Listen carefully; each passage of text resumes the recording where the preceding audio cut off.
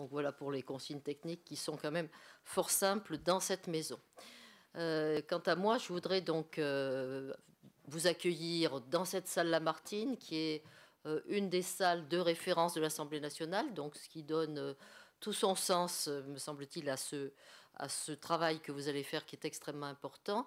Et salle qui a un autre avantage, vous l'avez remarqué, c'est que sa forme permet de, se parler et de se voir, ce qui n'est pas le cas dans toutes les salles. Et ça, c'est, me semble-t-il, pour des tables rondes, euh, la, jauge qui s'y prête le mieux.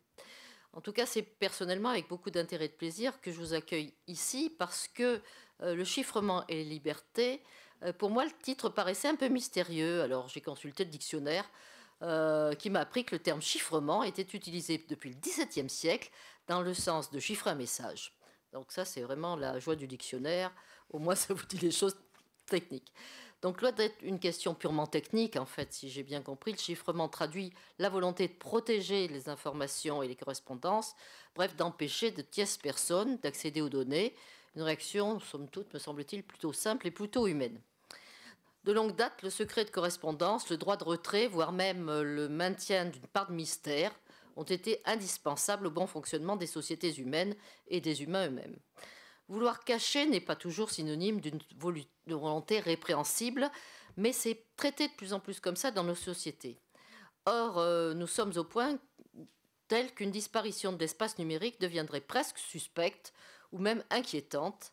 La, disparition par déconnexion complète devient de plus en plus improbable. Alors la disparition voulue par le recours au cryptage pour protéger un échange est plutôt naturelle, me semble-t-il, dans la plupart des cas.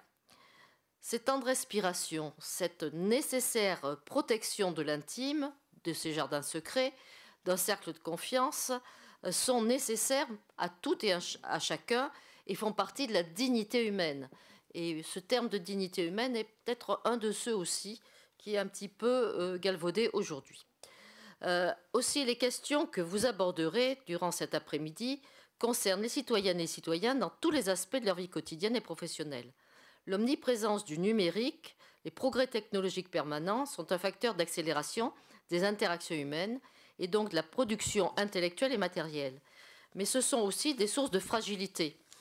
Euh, il me semble que c'est cela qu'il faut souligner quand il est question de la protection des données personnelles ou de la cryptocriminalité ou du piratage.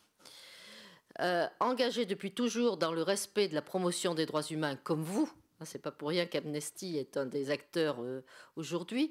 Je veille en permanence à défendre cette dignité, ces progrès humains, ces libertés individuelles et l'égalité réelle.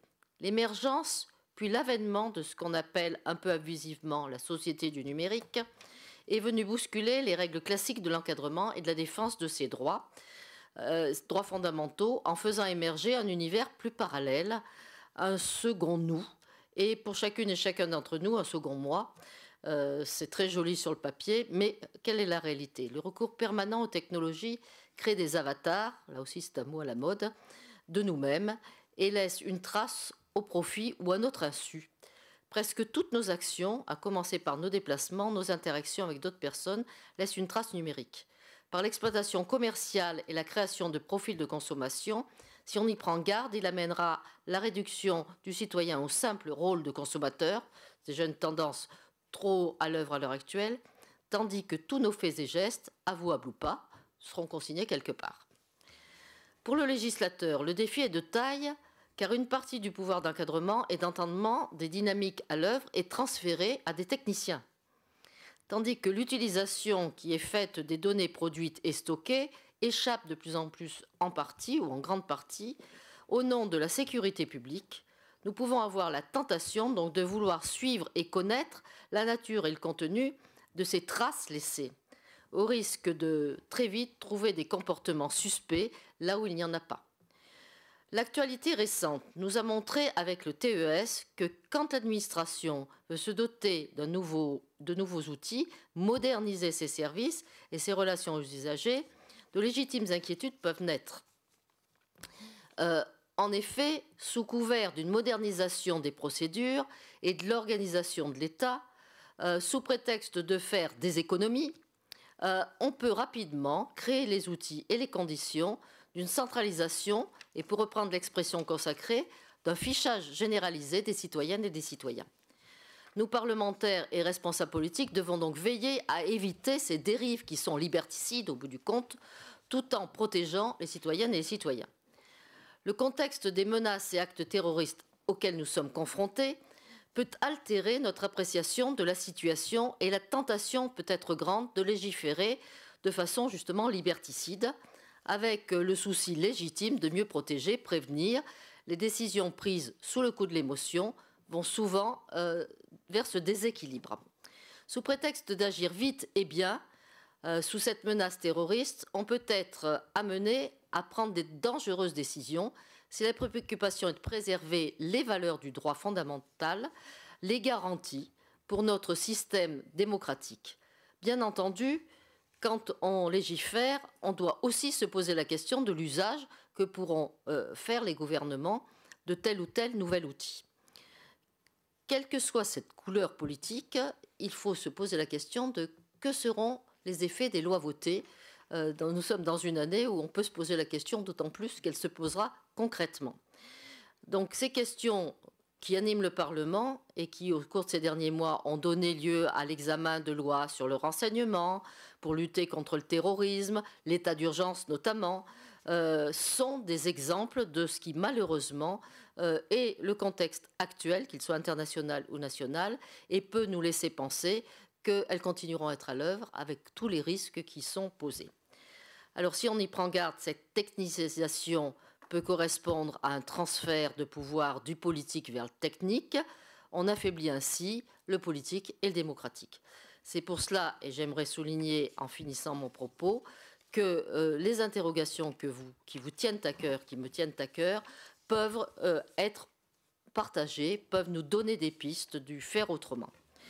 Donc, euh, qui a le pouvoir, qui est le réel pouvoir politique aujourd'hui face à celui des puissances économiques à l'œuvre? Que se passera-t-il si euh, vous ne manquez pas suffisamment d'éléments pour que nous puissions débattre euh, sereinement? Voilà quelques-unes des questions que je me suis posées à propos de votre euh, intervention. Il me semble que toutes ces dimensions que vous allez traiter aujourd'hui nous donneront à nous qui sommes du côté de la législation, qui sommes des législateurs, des éléments, des arguments pour trouver juste la bonne jauge entre ce qui doit être le, domaine à préserver du privé et le domaine à respecter du public.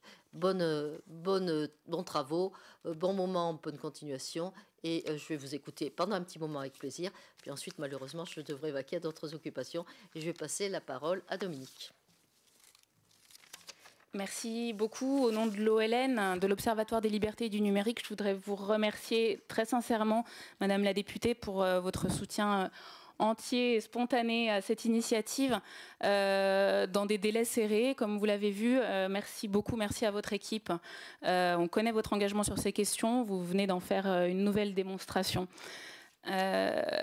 En deux mots, l'Observatoire des libertés du numérique, qu'est-ce que c'est Ce collectif s'est créé en 2014, hein, à l'heure sur le constat de, la prolifération des moyens de communication et de surveillance, de captation des données personnelles.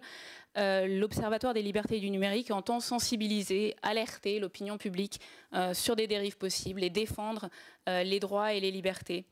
Il est donc composé du Centre d'études sur la citoyenneté, l'information et les libertés, le CECIL, le CREIS Terminal, Centre de coordination pour la recherche et l'enseignement en informatique et société, la Ligue des droits de l'homme, le Syndicat des avocats de France, le Syndicat de la magistrature, Amnesty International euh, et des experts indépendants qui me pardonneront de ne pas pouvoir euh, tous les nommer. Et la quadrature du net, hein, bien sûr, comment ai-je pu Merci, Laurence. Euh, donc, pourquoi, ce colloque aujourd'hui? Simplement dire que dans ce contexte où on s'habitue finalement, où on ne s'habitue pas, en l'occurrence pour ce qui est de l'OLN, à une accumulation d'annonces et de législation au, au, nom de la sécurité, des procédures accélérées qui se succèdent, des mesures d'urgence euh, qui finalement étouffent le débat citoyen euh, éclairé que ces questions euh, fondamentales exigent. Donc notre volonté aujourd'hui, notre intention, c'est de prendre les devants, de faire un pas de côté et de prendre le temps d'essayer de comprendre les enjeux du chiffrement pourquoi de cette question qui, revient régulièrement euh, à l'agenda et de renforcer l'objectif que nous nous sommes donné qui est de faire de la question de la protection des données et des communications l'affaire de tous et non pas l'affaire de spécialistes. Euh, c'est important de faire ce colloque aujourd'hui au Parlement et encore merci Madame la députée parce que nous présumons, euh, il ne faut pas être devin, euh, que le débat va revenir. Euh, les récentes déclarations nous l'ont laissé entendre assez clairement. Le débat va revenir dans l'enceinte du Parlement. Et nous souhaitons contribuer à ce que les parlementaires aujourd'hui puissent débattre, réfléchir avec toutes les cartes en main. Et c'est bien l'objectif de ce colloque d'aujourd'hui. Vous avez euh, devant vous normalement un programme, euh, un programme à peu près actualisé euh, de cette journée. donc nous avons souhaité organiser cet après-midi sous forme de table ronde. Alors c'est pas une question simplement de s'adapter à la disposition de la salle, mais c'est vraiment dans l'idée de remplir cet objectif-là, de s'approprier cette question du chiffrement et on va réserver une part importante à vos questions, à vos réflexions auxquelles nos, spécialistes vont essayer de répondre aujourd'hui. Quelques petits mots pratiques. Il y a une retransmission vidéo euh, en direct hein, sur Internet de, de ce colloque. Euh, bah, je vous invite à le faire savoir à vos, relations. si vous ne souhaitez pas être filmé, euh, faites un petit signe à notre collègue hein, qui est là, ou bien vous pouvez aussi être sur la mezzanine où il n'y a pas de, pas de caméra. Donc il n'y a pas de souci. voilà pour ce qui est des questions, comme on l'a dit, il y a des petits papiers. il y aura la possibilité de poser des questions de vive voix, mais il y a aussi possibilité de les faire passer au fur et à mesure, ce qui peut nous aider aussi et éviter les, frustrations s'il y en a trop de questions pour pouvoir les regrouper. Euh, donc n'hésitez pas au fur et à mesure à, nous les faire passer. Euh, et, on va commencer tout de suite avec la, première table ronde. Euh, notre objectif est de revenir sur les enjeux actuels en termes à la fois légal, technique et politique du, chiffrement. Euh, où est-ce qu'on en est aujourd'hui sur cette question-là? Dans une deuxième partie, on évoquera plutôt les implications d'un éventuel affaiblissement du chiffrement. Donc euh, voilà, pour que vous ayez euh, les, les, axes en tête. Alors, je dois vous informer que malheureusement, M. Quisquater, qui devait être avec nous cet après-midi, est souffrant et ne peut pas être avec nous. Euh, cet éminent euh, cryptologue ne peut pas être là, mais euh, nous avons avec nous Benjamin Sontag qui a accepté un petit peu au pied levé quand même de nous donner des éléments de, compréhension du chiffrement. Qu'est-ce qu'on entend par chiffrement? Quels sont les différents moyens, leur importance, leur fiabilité? Pour que nous sachions un petit peu de quoi nous allons parler cet après-midi, parce que tout le monde n'est pas forcément familier dans la salle avec, avec ces, notions. Donc Benjamin, je te laisse la parole.